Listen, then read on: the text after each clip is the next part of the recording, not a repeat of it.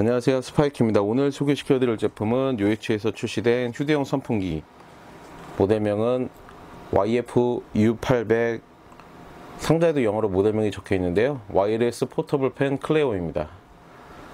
UH에서 출시된 클레오 제품의 특징이 어떤 게 있는지 지금부터 살펴보겠습니다. 우선 외형은 직접 보셔도 아시겠지만 일반적인 휴대용 선풍기랑 크게 달라 보이지 않습니다 작동은 중앙에 있는 작동 스위치를 눌러서 1단계, 2단계, 3단계. 풍량 조절은 3단계로 가능하고요. 다시 눌러주면 꺼집니다.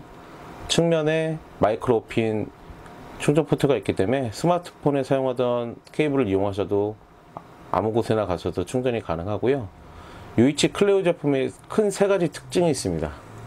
첫 번째, 상단에 스마트폰을 거치할 수 있는 거치대가 있고 두 번째 일반적인 휴대용 선풍기와 다르게 각도 조절이 가능합니다.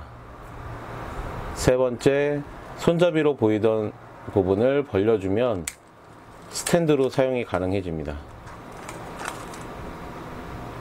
자석이 내장되어 있어서 갖다 주면 서로 붙고요. 그러니까 평소에 이렇게 일반적인 휴대용 선풍기로 사용을 하다가 카페라든가 뭐 학생이면 책상 이런 데 갔을 때 받침대를 벌려서 세워주면 휴대용 선풍기로 사용이 가능해지고 각도 조절도 가능하고요.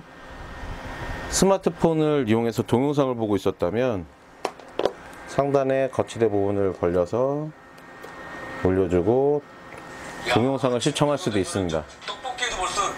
줄줄줄 흐른다고. 저기 기름이 좀 더 들어가가지고 조금 매운 네, 맛 지금까지 스파이크였습니다. 중화시키고 감사합니다.